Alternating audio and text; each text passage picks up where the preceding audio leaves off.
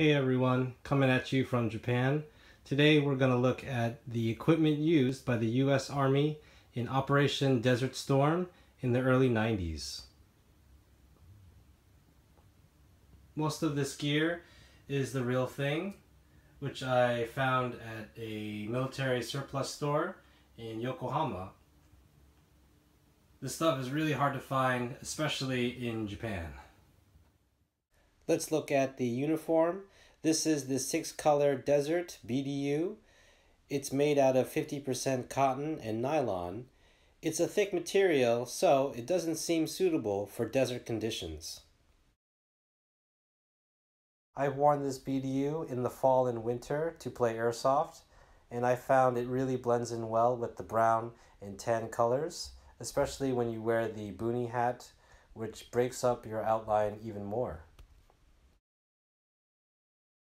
This is a real PASGT or Pasget Kevlar helmet. It's pretty heavy, but it is bullet resistant, which will stop a pistol round.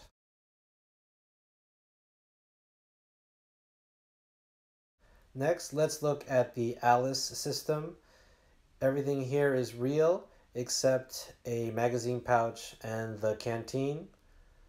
ALICE gear was used by the US military before the MOLLE system. It consists of the LC2 pistol belt, which has a unique hard plastic buckle.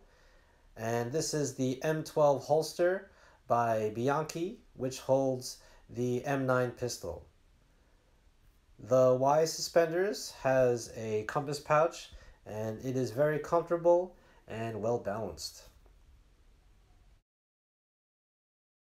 Looking at photos from the period, troops wore green jungle boots before they changed to the desert speed laced boots, which are far easier to put on and get out of. The last thing I got to complete this loadout were these Nomex flight gloves, which were used from the Vietnam War all the way up to the Second Iraq War.